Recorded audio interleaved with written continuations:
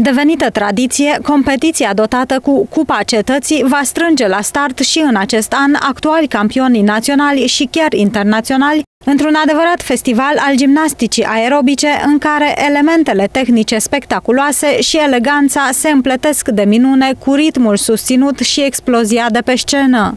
Colegiul Național Sportiv Cetate Deva, gazda întrecerii, dar și Clubul Sportiv Școlar din Petroșani au înscris în concurs peste 25 de concurenți care vor evolua în aproape toate categoriile de vârstă și concurs individual, perechi, trio și ansamblu. Întrecerile se vor desfășura pe scena Casei de Cultură Drăgan Muntean din Deva și sunt programate să înceapă atât sâmbătă cât și duminică de la ora 11 și se vor întinde pe durata a maximum 6 ore.